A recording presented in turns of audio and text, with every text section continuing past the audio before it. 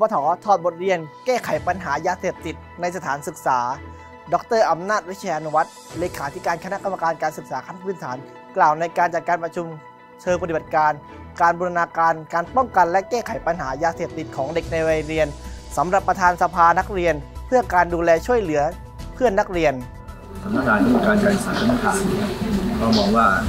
การที่ขับเคลื่อนงาน โดยสูงเรียนได้นั้น ก็ต้องให้นักเรียนนะครับผู้ที่ในโรงเรียนเป็นผู้ที่เคลื่อนเราก็ได้เชิญนักเรียนที่เป็นแกนนำของสภานักเรียนนะครับทั้ง 77 จังหวัด แล้วก็ 42 เขตมัธยมศึกษาหมด 119 คนรวมถึงคุณครูด้วยนะครับมาร่วมดีไซน์กันดีไซน์งานกัน คิดโมเดลการทำงานว่าเราจะทำอย่างไร ที่จะให้งานที่ป้องกันและแก้ไขและปรับปรุงเรื่องของยาเสพติดนะครับทำให้เกิดประสิทธิภาพและก็ลงมาสู่ตัวโรงเรียนแล้วก็ตัวนักเรียนเองโดยประชุมชนละสังคมก็ช่วยกันคิดครับว่า สภาพที่อยู่ในพื้นที่ตั้งแต่ภาคเหนือจนภาคใต้รวมถึงในทุกภูมิภาคของประเทศนะครับจังหวัดว่าจะมีพื้นฐานการที่เราจะขับเคลื่อนทำให้นักเรียนได้มีโอกาสที่จะพัฒนาการทำงานได้อย่างไรครับนี่คือสิ่งที่เราต้องมาคิดค้นร่วมกันครับ เรื่องของสถานการณ์ยาเสพติดในสถานศึกษาครับจากข้อมูลล่าสุดตอนนี้เนี่ยมันมันมันน่าเป็นห่วงมากน้อยแค่ไหนครับ คือจริง ๆ ในสถานศึกษาผมไม่กังวลใจ เพราะว่าเรามีการดูแล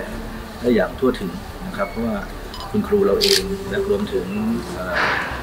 โรงเรียนนะครับโดยตัวโรงเรียนเองด้วยนะครับก็เข้าใจว่าโรงเรียนนั้นเป็นสถานที่ที่จัดการศึกษาให้ความรู้นะครับ แต่ว่านอกสถานศึกษานั้นยังมีข้อมูลใจเพราะเรารับทราบข้อมูลข่าวสารที่ที่มีการ